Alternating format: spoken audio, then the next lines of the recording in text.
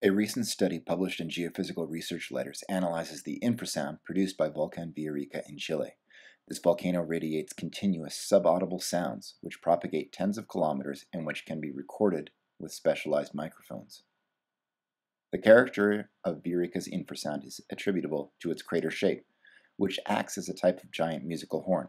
Sounds are excited by the permanently convecting lava lake at the bottom of the crater and modulated by the crater geometry.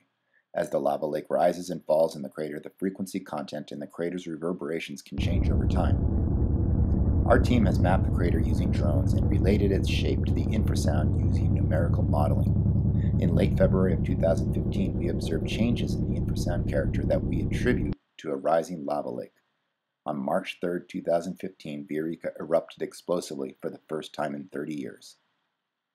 This infrasound forecasting tool was developed in hindsight but it might now be used to anticipate future eruptions of Villarrica and analogous volcanoes elsewhere.